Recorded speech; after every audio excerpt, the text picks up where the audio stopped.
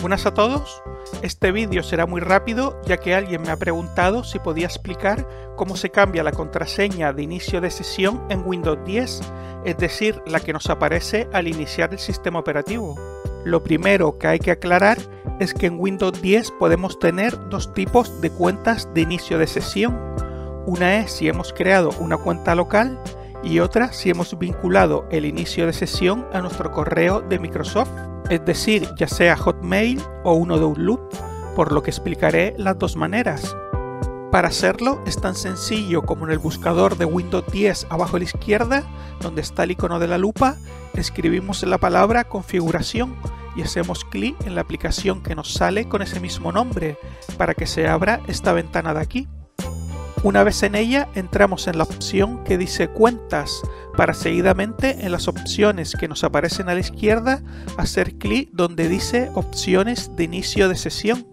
Y ahora que hemos llegado a esta otra ventana tenemos que pulsar, como ya habréis imaginado, en esta opción que tiene el icono de una llave, la que pone contraseña.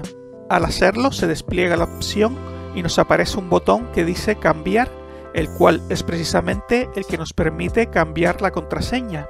Aunque como veis, primero se nos pide que escribamos nuestra contraseña actual, ya que de ese modo el sistema se asegura que ningún otro usuario pueda cambiarnos nuestra contraseña. En mi caso, escribo mi contraseña actual y pulso el botón siguiente para continuar.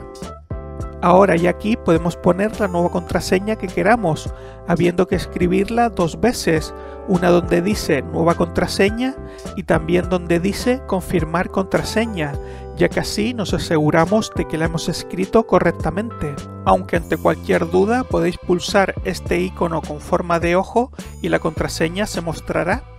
Además, como veis, también se nos pide que indiquemos un indicio de contraseña, que quizás algunos no sepáis para qué sirve, pero simplemente se trata de escribir algo que nos sirva de pista por si alguna vez olvidamos la contraseña.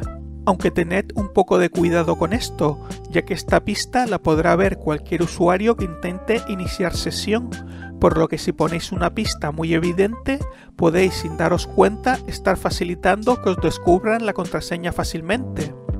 Una vez hemos puesto todo, le damos a siguiente y se nos avisa de que la próxima vez que iniciemos sesión ya lo haremos con la nueva contraseña, por lo que pulsamos en finalizar y la contraseña ya está cambiada.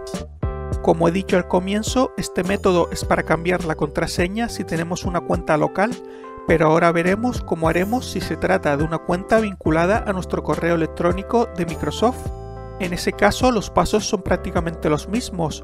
Abrimos la ventana de configuración, nos vamos a cuentas y opciones de inicio de sesión, hacemos clic donde dice contraseña para finalmente pulsar el botón que pone cambiar. Y como veis ahora nos sale una ventana diferente y lo que hay que tener en cuenta en este caso es que no solo vamos a cambiar la contraseña de inicio de sesión de Windows, sino también estaremos cambiando la contraseña de nuestro correo electrónico, por lo que tenerlo muy presente a la hora de hacer el cambio. Además, al tratarse de una contraseña que se almacena en la nube, para poder cambiarla es obligatorio tener conexión a Internet o de lo contrario se nos abrirá esta otra ventana diciéndonos que algo salió mal.